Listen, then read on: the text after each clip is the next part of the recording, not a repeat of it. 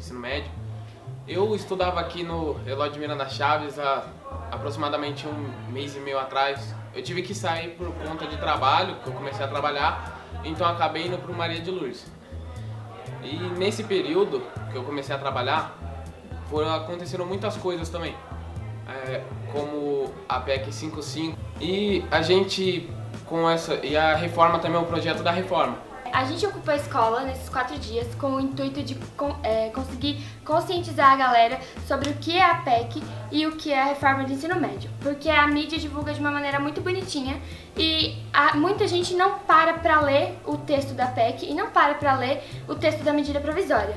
Quando os alunos me chamaram, né, eu aceitei na hora, porque não tem como é, não apoiar um movimento estudantil, movimento secundarista é, hoje em dia, até porque é o único movimento que está tá se expressando né, da melhor forma, eu acredito, contra né, as, os desmandos, contra todos os ataques dos, dos governos estaduais e federais. O nosso objetivo principal é mobilizar a população daqui da região. A gente quer que eles entendam o que a gente está passando, a gente quer que, gente, que eles vejam como é dentro da escola. Se agora a gente está tá em sala de aula e quando chove, chove mais dentro da sala do que fora, a gente mal consegue estudar direito e aí eles ainda querem congelar os investimentos, o que, que vai ser da gente? Vamos estudar na rua agora? É isso que eles querem? Então, assim, a ocupação é muito, muito, muito necessária. Vai usar os dois lados. 2, 4, 6, 8, 9. Dá pra fazer 9 bagulhos, porque é uma não tem tanto. E daí, é tampar a chapada. Então, 10, tem 10. Só ir cortando lá. Vocês vão cortando, não vai cortando as mudas. Isso aqui é sabe, né?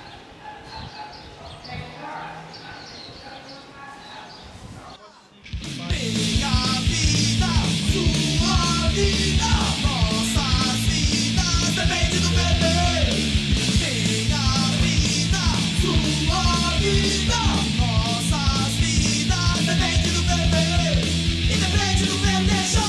Nós fizemos vários movimentos e vários atos no centro da cidade.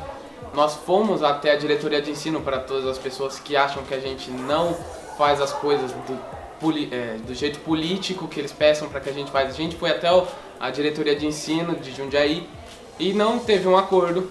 A gente fez sarau, a gente tentou, fizemos diversos tipos de coisas para chamar a atenção das pessoas e etc.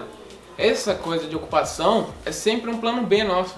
A gente nunca quer ocupar, a gente não tá aqui porque é legal, a gente- porque isso daqui é desgastante, é cansativo. A gente tá aqui desde sexta-feira. Aí a gente pensou, mas só que a galera da escola tá muito contra a gente. Então a gente decidiu fazer alguma coisa para não prejudicar e conseguir trazer a comunidade para dentro da escola. A ocupação é uma medida extrema? Sim, né? Mas o que eles propuseram dessa vez foi, eles ocuparam a escola no, na sexta-feira à noite, né? Na verdade, na madrugada de, de sábado e vão ficar com data estabelecida até terça-feira, né? Que é o no dia 15 de novembro, para não atrapalhar a- as aulas dos outros alunos. Então eles estão propondo atividades, oficinas, ah, aulas, discussões, debates aqui dentro da ocupação, chamando a comunidade, divulgando, chamando os alunos, ex-alunos, professores, eh, professores que já deram aula aqui, professores que não deram aula aqui, que é o meu caso. Bom, a, a Libras, né, a língua brasileira de sinais, foi reconhecida como uma, uma, uma língua, né, assim como qualquer outra. N. Ó. Então, se eu sei, se o Vitor sabe um pouco, se o Thiago sabe um pouco, a Lê sabe um pouco, a gente vai para poder aproveitar né, o tempo que a gente tem, o espaço que a gente tem e essa, essa participação que todo mundo pode, pode ter abertamente. Você vai falar que você está cansado. Aí você vai, você faz, você faz, você é cansado. Aí você vai falar assim, ah, tô cansado. não, você não tá cansado, você tá cansado. Né? Então tem que ter muita expressão facial, né? Ah, não é fácil fazer todos os movimentos com as mãos, porque a gente acredita num, num- numa- num conhecimento compartilhado, né? Eu não sou especialista em Libras, não sou intérprete de Libras oficialmente ainda, mas É, até como foi falado né, na, na oficina que aconteceu agora há pouco, a gente vem para compartilhar A oficina de Libras. Mano, hoje em dia a gente tem várias pessoas surdas por aí e a gente simplesmente acaba excluindo essas pessoas, ignorando por não ter conhecimento pra conversar com elas e tudo mais. Eu acho que é muito importante, porque, por exemplo, na escola convencional, no dia a dia, a gente não tem essas discussões de gênero, né? Que são muito importantes, cara, engrandece muito. É, conscientiza os meninos, as meninas, te faz, tipo, refletir mesmo sobre tudo. Eu falei, meu Deus do céu, não tô vendo isso aqui. Não, porque a mulher tem que se preservar. Meu. Complicou, quer dizer, é o homem se colocando como dono do corpo das mulheres, né? Mais ou menos isso. Essa, essa minoria que está se levantando agora era muito menor e menor e menor. E nesse mo- sabe essa coisa do se empoderem. O movimento feminista libertou a gente, né? Questão de gênero por conta de uma discussão que eu vi no WhatsApp da, da, da, da ocupação, né? Da, dos meninos da- do, do movimento e tal. Uma discussão bem dura, bem ríspida, bem machista, né? Mas os meninos são bons. São bons meninos. são bons. Só falta assistir esses vídeos só. Faltou. É uma série de quatro vídeos que eu tô apresentando na escola também, né? Deixa eu dizer assim, é, eu chamei a Bruna para me, pra me ajudar porque, pô, é espaço de fala das mulheres, né?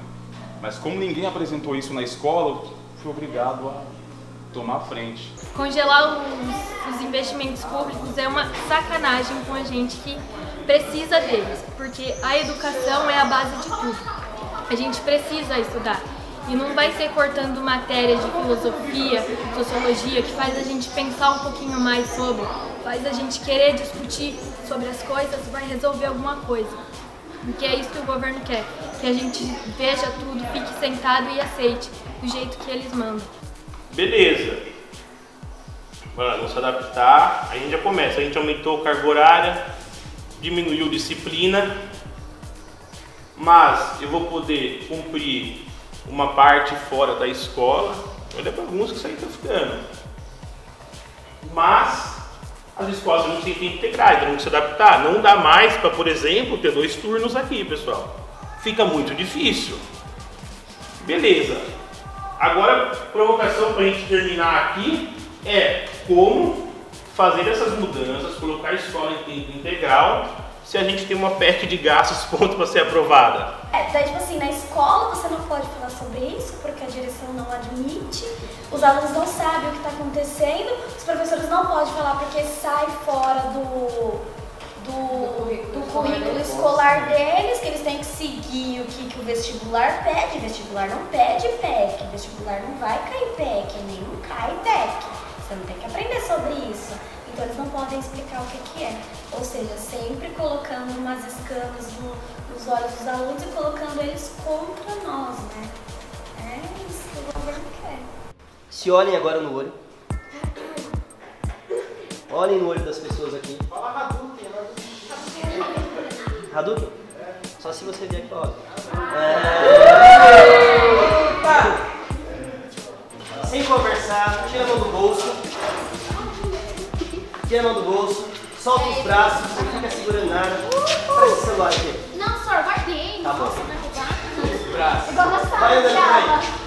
Dá o celular, sai, senhora. E agora, no esquema do Sotigui, vocês vão fazer o seguinte, vai continuar andando, vai me escutando, tô andando, dando as instruções. No esquema do Sotigui, vocês vão fazer o seguinte, vocês vão parando um por um, até todos pararem, mas não podem parar juntos. Um momento aí. Se começar dois a andar, então vai todo mundo parar e vão parar. Tá isso funciona, hein, galera? Então, silêncio é, é a concentração, não é só barulho. Não é só não fazer barulho, é se concentrar. Fecha o olho, se concentra aí. E o jogo começa quando todos estiverem em silêncio.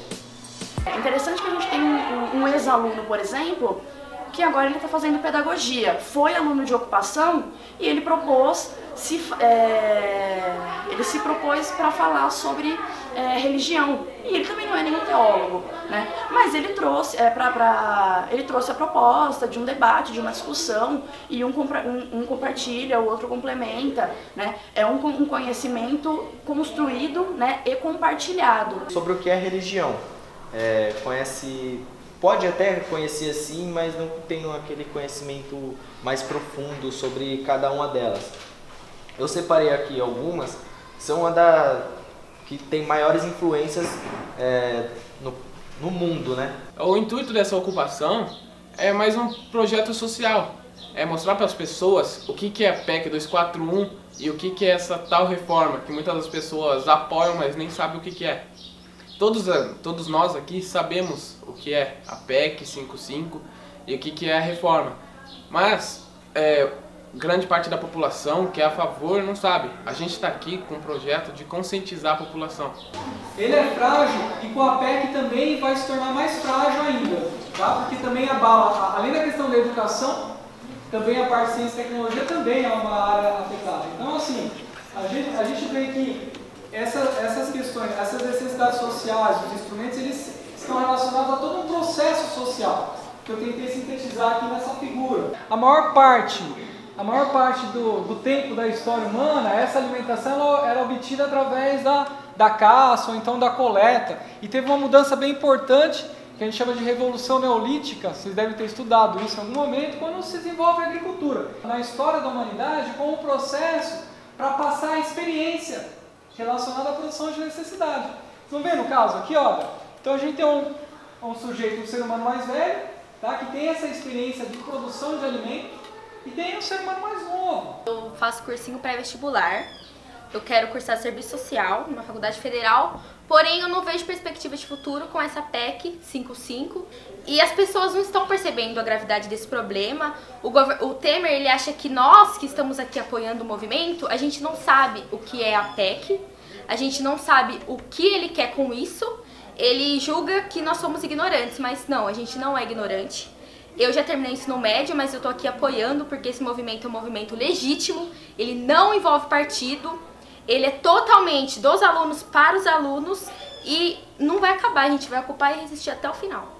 No Facebook, principalmente, rola mó treta, né? É, muito aluno falando mal. E teve uma mulher que eu, ela tem 25 anos e ela tá tratando muito com a gente. E eu falei pra ela, a gente tá com uma listinha de presença lá e por acaso eu não vi seu nome. Então, antes de você sair falando besteira, falando que a gente ou aquilo, vai lá conhecer. A gente te mostra tudo, o que, que a gente tá fazendo, a gente tá divulgando agenda. Vai lá ter uma oficina. Ontem veio umas meninas novas, veio uma menina aqui pra conhecer a ocupação, ela era totalmente contra o movimento e ela jurou que ela ia vir aqui perguntar o que, que era a PEC, o que, que era a reforma e a gente ia falar qualquer porcaria pra ela.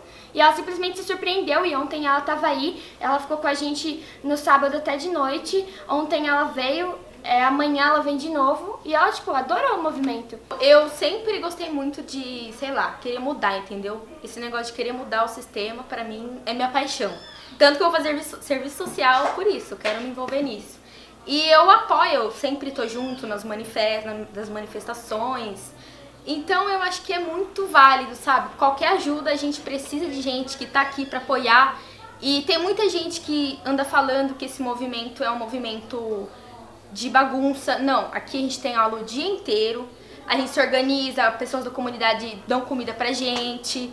E é isso. Então, muitos dos deputados vêm falando isso mesmo, de que a gente só fica aqui pra bagunçar, pra fumar maconha ou pra fazer sexo.